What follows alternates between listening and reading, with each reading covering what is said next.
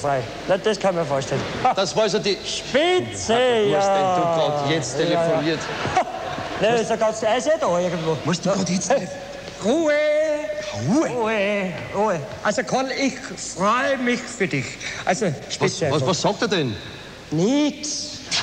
na, na, Entschuldigung, äh, Was ist denn? ist nämlich eine Sie. Ja? Ah, ehrlich Ja, an? ja. Gib her, gib her. Nein! Na, Entschuldigung, äh, wiss, äh, äh, Was Karl, geht's denn? Es geht um, um Folgendes. Sie hat nämlich vor allen Anfang zugeschaut und hat zu mir gesagt, dass du, also der Herr Moik, unbedingt nach Hollywood gehen sollte. Was? Du solltest nach Hollywood gehen, ja? Oh, ja, du, hier steht vor, jetzt habe ich die goldene Kamera, goldene Rose und jetzt noch Hollywood auch noch. Gib, gib, Aber, aber nie mehr zurückkommen. gib her, gib her.